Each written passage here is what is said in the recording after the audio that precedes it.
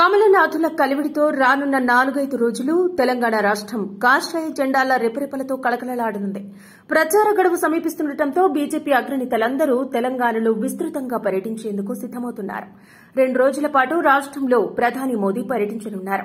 ప్రచార గడువు సమీపిస్తుండటంతో ప్రధాని మాత్రమే కాదు బీజేపీ అగ్రనేతలంతా తెలంగాణకు తరలివస్తున్నారు. రెండు రోజుల పాటు ప్రధాని మోదీ రాష్ట్రంలో సుడిగాలి పర్యటన చేయనున్నారు. రాష్ట్రంలో ఇరవై నుంచి ఇరవై తేదీ వరకు ఆరు ప్రాంతాలు ప్రాంతాల్లో జరిగే బహిరంగ సభలతో పాటు హైదరాబాద్లో జరిగే రోడ్ షోలో ప్రధాని పాల్గొంటారు. అదేవిధంగా ఎన్నికల ప్రచారాల్లో పాల్గొనేందుకు కేంద్ర హోంశాఖ మంత్రి అమిత్ షా ఇరవై నాలుగవ తేదీన రానున్నారు. హుజురాబాద్ మంచిర్యాల ఆర్మూరులో అమిత్ షా పర్యటిస్తారు.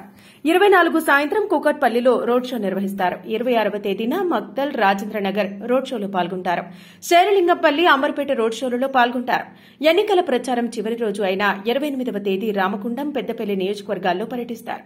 అదేవిధంగా బీజేపీ బీజేపీ జాతీయ అధ్యకుడు జేపీ నడ్డా ఇరవై మూడవ తేదీ ముథోల్ నిజామాబాద్ సంగారెడ్డిలో ఎన్నికల ప్రచారం నిర్వహిస్తారు.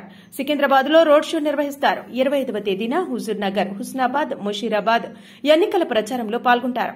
ఇరవై ఏడవ తేదీ బాన్సువాడ జుక్కల్ గజ్వేల్లో పర్యటిస్తారు. అదేవిధంగా ఉత్తరప్రదేశ్ సీఎం యోగి ఆదిత్యనాథ్ ఇరవై నాలుగవ తేదీన బోధ్ ఆదిలాబాద్ ఖానాపూర్ ఖైరతాబాద్లో ప్రచార కార్యక్రమాల్లో పాల్గొంటారు.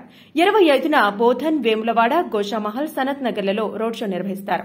ఇరవై ఆరవ తేదీన మహబూబ్ నగర్ కల్వకుర్తి ఎల్బీ నగర్ పర్యటనలతో పాటు కుత్బుల్లాపూర్లో రోడ్ షో నిర్వహిస్తారు. మరోవైపు కేంద్ర రక్షణ మంత్రి రాజ్నాథ్ సింగ్ ఇరవై నాలుగవ తేదీన సిర్పూర్లో పర్యటిస్తారు.